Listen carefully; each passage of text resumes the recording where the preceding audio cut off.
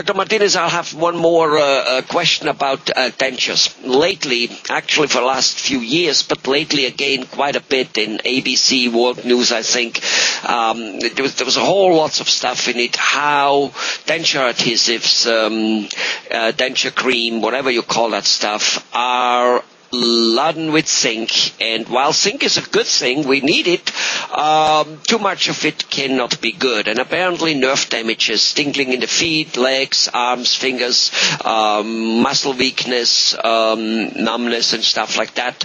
And uh, literally brain damage, uh, people in a wheelchair have occurred, apparently.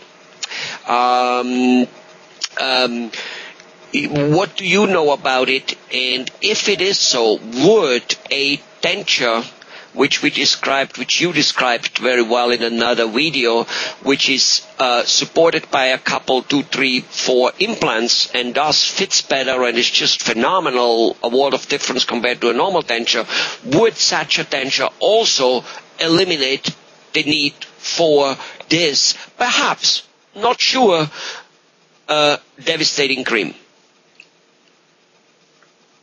Most definitely. That is probably one of the biggest advantages is that you don't have to wear any adhesive when you have an implant retained denture because it clips onto your implants. So you don't have to wear the little cloth, you don't have to wear any powder, and you don't have to wear the cream frankly, frankly, having never done that, and and um, and once or twice I got a I got a, a an impression made. Um, I, I, you know I don't know whether that's the same, but frankly, you know I'm not a cream type. I, I, it must be it must be being a very very beautiful relief not to have to you know, put some, some cream things on it. In fact, even in teeth whitening, the people at home or doing the dental teeth whitening kit, uh, many people just say, you mean I can avoid this cream and tray? Oh, why don't I just go for a one hour, pay a little more, a, been done in one hour, but most importantly, I don't like that yucky thing on my thing. I mean, it must be a good feeling it, from my viewpoint, but having never done it, how would I know? What do, what do your patients say? Exactly. No, that is probably one of the biggest things when they come in, when people come in and say, you know, I can't, I can't eat, I can't chew my food, I'm getting these sores, and I'm tired of having to buy this adhesive and having, because I can't taste my food, I can't. So yes, that's probably one of the biggest advantages of having an implant retained denture that you don't have to wear the, um, the creams or the cre- or the uh, little cloth or the powders. Um, because, you know, I haven't, I've never done it, I've never worn that myself, but I have seen many patients, and it, it is really a big relief for them. I think um, okay. what happens is once they they don't have to wear it, they're like, "Are you sure? You know, the teeth are not going to fall off when I'm eating or anything." Um, but again, it has to be an implant retained denture sure. in order for you to be able to clip onto this. And as far as for the damage, I know that they recalled the the cream that supposedly allegedly was causing the issue. But again, you know, do you really truly know what, you know, what causes uh, anything? I mean, pretty much every day something comes out that says that it's causing something. So, um, I personally don't know of any case or anything whatsoever in that regard. I know the story. I've heard the news. I've you know read it um, from my supplier actually, but um, it is really something you have to have to see and read the study. Where was it done? Was is it a legit, legitimate study or is it just somebody trying? But here's the deal. Here's the deal, Dr. Mart- here's the deal, Dr. Martinez. Um, certain things you don't, you know, you don't quarrel about. Um, just like it was never really proven that this um, person in Florida some 15 years ago got AIDS from the dentist. The point is, it stirred something up majorly.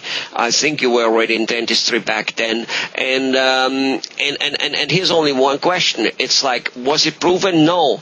Did everybody start sterilizing about a truckload better than before? Yes. Can that possibly hurt? No. So let's do it.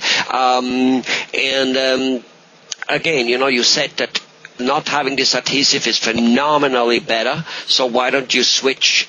Um, and would you suggest that if a person, which doesn't have to come from that uh, uh, cream at all, has um, you know tingling and numb fingers and uh, and and feels a certain weakness in in his overall muscle structure, uh, should he go to a doctor, to a physician, to a nerve doctor, and check it out, and at least make sure that uh, whatever causes it, which even the doctor might never find out, but at least that he takes treatment for it because it is a serious thing. It wouldn't matter what caused it.